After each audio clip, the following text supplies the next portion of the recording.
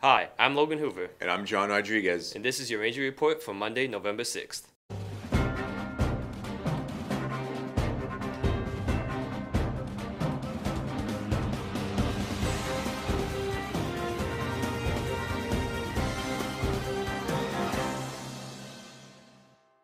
Congratulations to all orchestra students that competed in the Region Orchestra auditions this past Saturday. These students competed against some of the best orchestra students in the entire San Antonio area.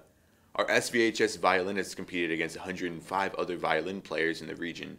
We were proud to announce that Levon Obamba placed ninth violins and Anthony Cuvion was awarded concertmaster or first chair in that competition.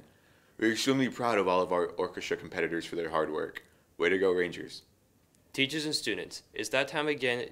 It's that time of year again for turkey feathers. Today begins the third period turkey feather donations.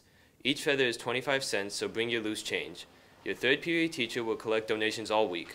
The top two third period classes that collect the most will receive a pizza party next week.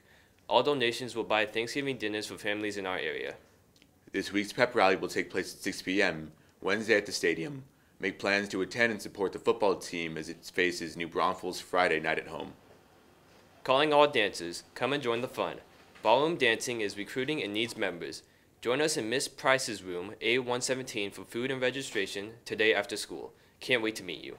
Genius Hour, a free tutoring service, will be held Mondays and Wednesdays this semester from 4:15 p.m. to 4:45 p.m. in the library. No reservations are needed, no advanced warning required. Just show up and tutors will be happy to help you in whatever class you're struggling in. French Club will meet tomorrow from 4:15 p.m. to 5 p.m. in A104 to prepare for National French Week. All supplies and refreshments will be provided. The French National Honor Society has mailed invitations for eligible students of French, past and present, to apply for membership. Applications are due Wednesday, November 8th by 4:30 p.m. Please see Mrs. Hinch in A104 if you have any questions. The French National Honor Society will host its monthly membership meeting on Thursday, November 9th from 4, 7.45 a.m. to 8.15 a.m. in A104. All current and newly selected members are urged to attend. Here's Catherine with an update on world news. Thank you, anchors. Yesterday morning, a gunman opened fire at a Baptist church in Sutherland Springs, just south of San Antonio. Out of the 50 people that attended the service, at least 27 were killed and 24 were injured before the gunman fled the scene and was killed. This is one of the most fatal shootings in modern Texas history and the deadliest shooting at a church in the U.S. in nearly 20 years. Our thoughts and prayers are with the people affected by this tragedy. In more positive news, Shalane Flanagan is the first American woman to win the New York City Marathon in over 40 years. She finished a minute faster than Kenyan Marie Keitany, who had won three consecutive titles. For Flanagan, it's been seven years since she ran the New York race after suffering a fractured lower back and has made a credible recovery. Today is National Saxophone Day and National Nachos Day. And the fact of the day today is the Western lowland gorilla's scientific name is Gorilla Gorilla Gorilla. Now over to Tim and Carlo with sports. Thank you, Catherine. I'm Tim. And I'm Carlo. SV Cross Country got fifth overall in state. Congrats on all their hard work getting to state.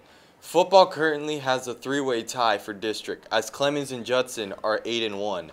Judson had their first loss to Smithson Valley after an amazing overtime win with the final being 40 to 37. Their final game will be against New Braunfels and will be played here. Judson will play against Canyon and Clemens will play against Steele. We'll see if the tie stays or one will come out on top for district. Girls basketball will play at Antonian on Friday. The game will start at 7:30. And now back to the anchors. Thanks, Tim and Carlo. I'm Logan Hoover. And I'm John Rodriguez. And our thoughts and prayers go out to those affected by the shooting at First Baptist Church in Sutherland Springs.